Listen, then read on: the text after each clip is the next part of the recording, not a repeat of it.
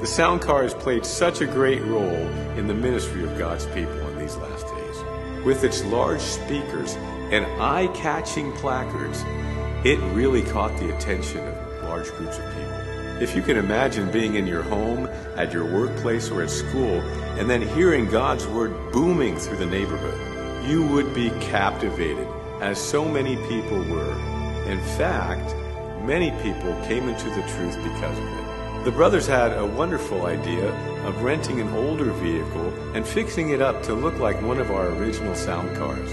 There was only one problem. The brothers couldn't find a, a suitable vehicle to rent at a reasonable rate.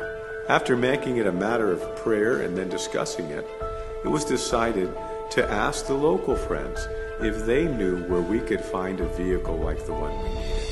As it turned out, there was a sister whose father had a 1938 Ford Business Coupe in storage available for our use.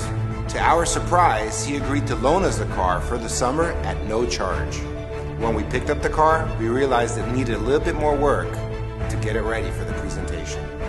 So, over the course of two weeks, the brothers worked tirelessly to install new brakes, to polish the paint, install a new interior, and get the engine running for the first time in many years. So, to bring glory and honor to Jehovah's name, we are returning that car at the end of the summer in much better condition than it was when we picked it up. If you would have told us at the start that we would have found a vehicle like this one at no cost, we wouldn't have believed. We are ecstatic to present all you delegates with this carefully replicated 1938 sound car. It is our hope that you enjoy it. Take pictures with it.